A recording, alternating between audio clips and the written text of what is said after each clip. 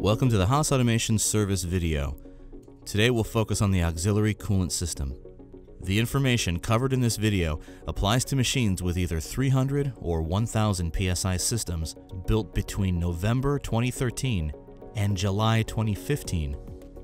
Service engineer Orville Collins is going to show us how to check if the system is functioning correctly and then step us through the process of replacing the ACF filter bag.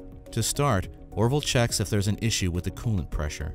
Since the ACF unit is most commonly used on TSC systems, let's see how that system behaves when there's a clogged ACF filter. Orville activates TSC with the spindle turning slowly. After a short period, the system faults out, and we see alarm 151 is generated, low pressure through spindle coolant. If you have the ACF connected to your standard coolant pump, you'll typically see reduced coolant flow at the nozzles when the filter becomes blocked up. Before checking the auxiliary coolant tank, Orville first checks that the coolant level readout on the screen shows that the tank is full. And then just to make sure someone hasn't left the coolant level sensor out of the tank, he visually checks that there's sufficient coolant in the tank. Yep, the tank is full. Now, Orville activates the coolant system again to pressurize the auxiliary coolant filter tank. He returns to the back of the machine to check the filter gauge on the ACF tank. This will tell us whether the system is flowing freely or if it's plugged up. When the filter bag is clean, the gauge will read between 0 and minus 5 psi. But if the filter bag is dirty, the gauge will read from minus 5 to minus 10 psi. It's clear we have reduced coolant pressure here, so let's change the bag out.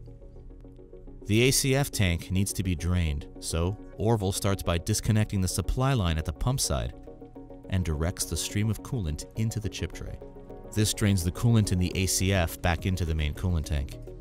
Next, open the four latches that secure the lid to the tank. Remove the lid. Orville waits for the tank to drain. This usually takes about 5 minutes.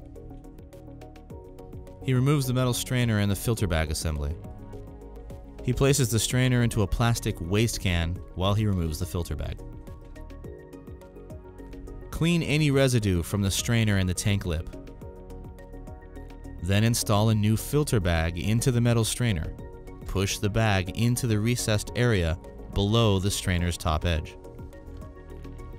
Bag in place, Orville places the metal strainer and the filter bag back into the tank.